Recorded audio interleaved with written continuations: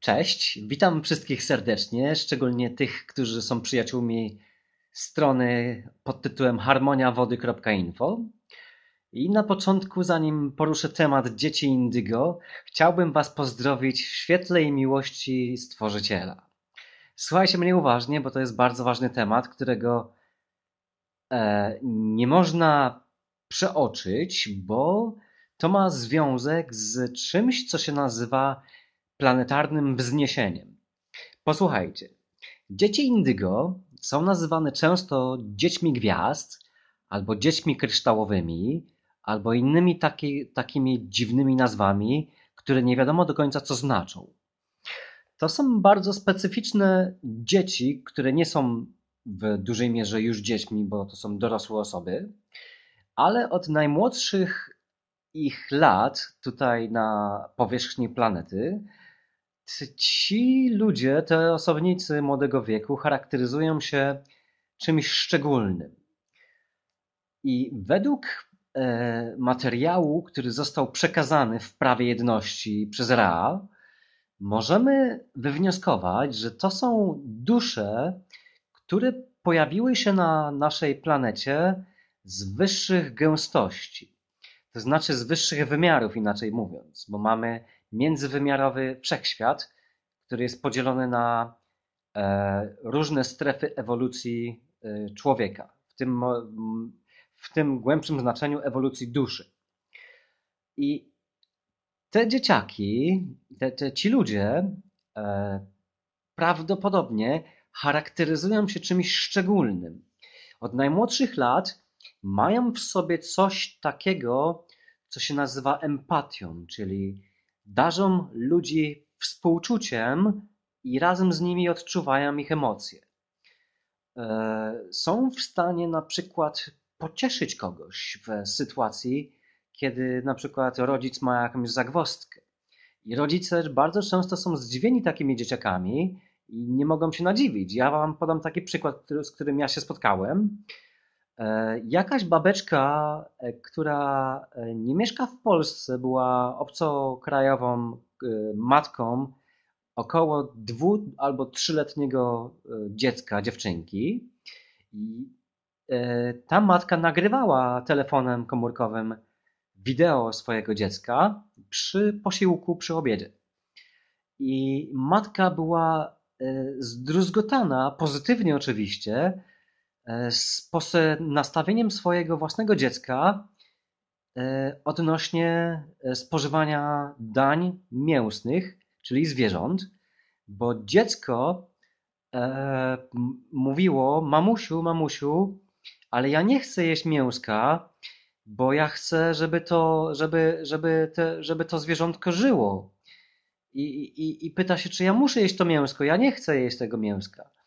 Matka tam była tak roz, roz, rozczulona tym dzieciakiem, że nie mogła się pohamować z radości i prawie że płakała. Więc jak widzicie, niektóre z tych dzieci od najmłodszych lat mają wszczepione w ścieżce duszy e, albo w czymś, co nazywamy e, przedinkarnacyjnymi wyborami e, zachowania, które odbiegają od normy w danej rodzinie, w danej kulturze, w danej jednostce społecznej. Więc musimy wziąć pod uwagę, że te zachowania są wysoce nieprawdopodobne. No bo skąd dziecko w wieku trzech lat miałoby wiedzieć, że e, e, nie chce zjadać zwierzęcia, skoro nie jest tego nauczone? Ta nauka musi pochodzić od zewnątrz, czyli to musi być pamięć, e, pamięć duszy. Więc to jest kolejne zjawisko, które jest przekazywane w ewolucji ducha. Pamiętajcie, że inkarnacja i reinkarnacja jest zjawiskiem powszechnym we wszechświecie i każdy jest, e, że tak powiem, uwikłany w prawo reinkarnacji. E, tutaj przypomnę Wam troszeczkę, e, jeżeli nie wiecie, mechanizm tego.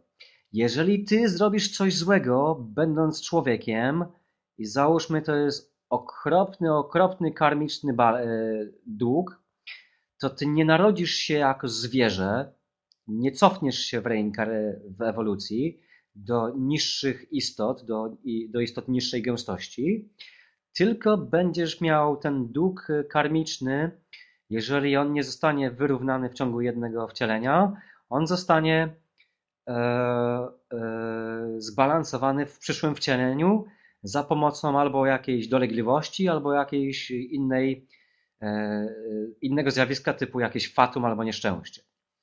E, ale odbiegam od tematu, wracając do dzieci indygo. Te dzieci, które się stają, wchodzą w dorosłe życie, one mają szczególny, specyficzny e, podejście do życia i część z nich ma bardzo specyficzną misję. Prawo jedności nazywa takich ludzi podróż, podróżnikami. Po angielsku to się nazywa wanderers. I to są podróżnicy z wyższych e, wymiarów e, i gęstości, którzy się rodzą po to, aby wnieść światło i przynieść wibrację e, miłości na naszą planetę, aby wyrównać mm, niski balans wibracji Ziemi w tym kluczowym momencie, w którym teraz się znajdujemy, czyli w momencie przechodzenia z trzeciej gęstości do czwartej gęstości. To jest y, oddział, znaczy oddział. To jest y, faza przejściowa i ta faza przejściowa potrwa od 100 do 700 lat. Ten okres jest bardzo krótki. Nie myślcie sobie, że to jest jakoś bardzo długo, o siedem wieków, ile to potrwa. Nie, wcale nie. To jest błyskawiczne. To jest praktycznie natychmiastowe przejście. To jest bardzo krótkie.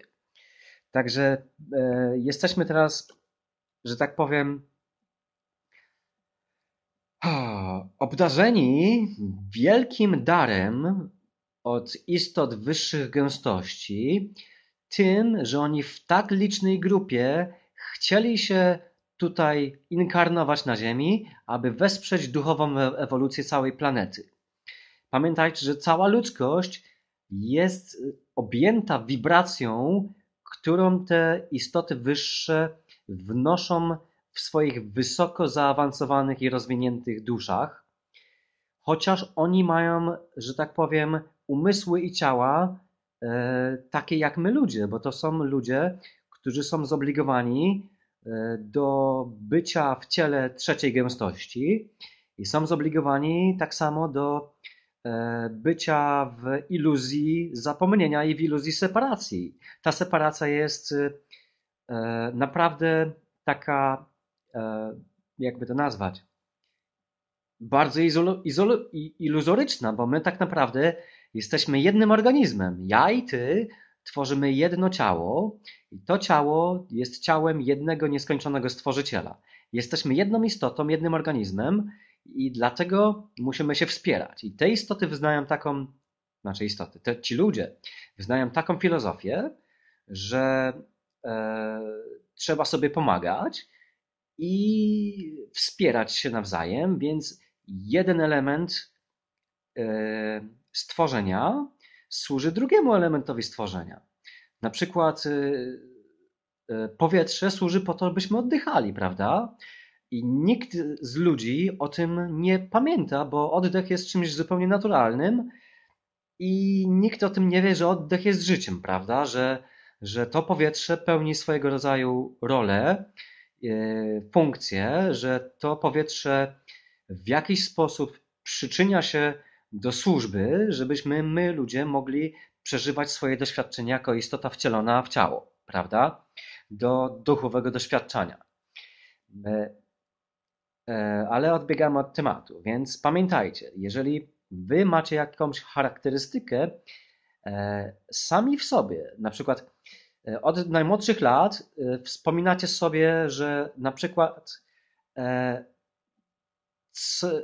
co ja tutaj robię na Ziemi, albo skąd ja się wziąłem, albo macie takie bardzo empatyczne uczucia do drugich e, osób, albo do zwierząt, albo do innych, e, nie wiem, e, części stworzenia, to naprawdę jest nic złego. To po prostu pokazuje ci, w jaki sposób można rozwijać się duchowo, no bo im głębiej dojdziesz w realizacji jedności e, całego nieskończonego stworzenia e, i im bardziej zrealizujesz sobie niewidzialną rękę, która zorganizowała cały ten plan i całą tą nieskończoną inteligencję, która e, rozporządza wszystkimi istotami, które mają wolną wolę, to tym bardziej zdacie sobie sprawę, jak żyć i w jakim świecie wy się znajdujecie.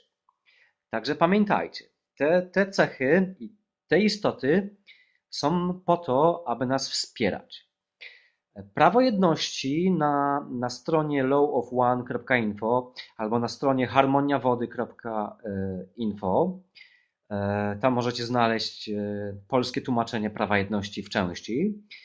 E, prawo to mówi, materiał przekazany przez Ra, mówi o tym, że mamy 65 milionów wyższych istot, podróżników na Ziemi.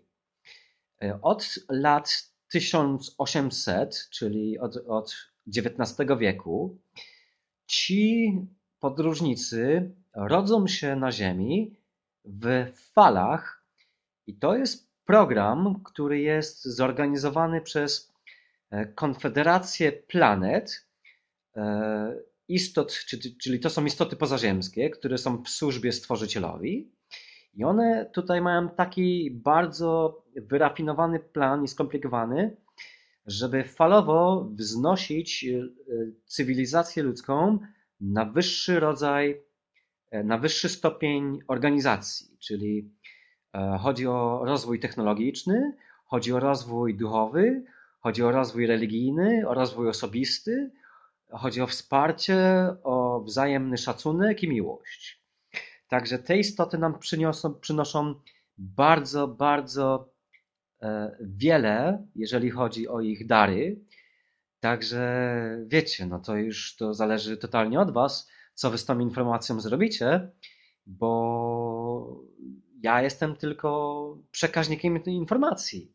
Jeżeli Wy nie macie czasu na studiowanie prawa jedności, albo nie chcecie tego robić, no to macie bardzo prosty i szybki poradnik do tego wszystkiego i zapraszam Was na e, naprawdę pogłębienie tych informacji. Także jak chcecie, te, te, to te sesje, bo to się jest po, poukładane w sesje, nie są bardzo długie.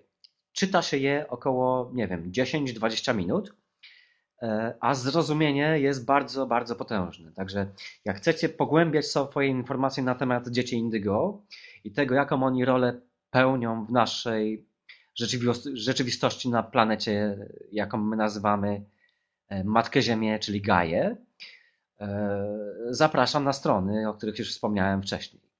Dobra, tyle ode mnie, żeby nie przedłużać. Pozdrawiam Was wszystkich. Namaste. Zostańcie w świetle i w miłości Pamiętajcie, e, to jest jedyna wasza droga, bo wychodzimy od Stworzyciela i do Niego wracamy. Na razie, cześć.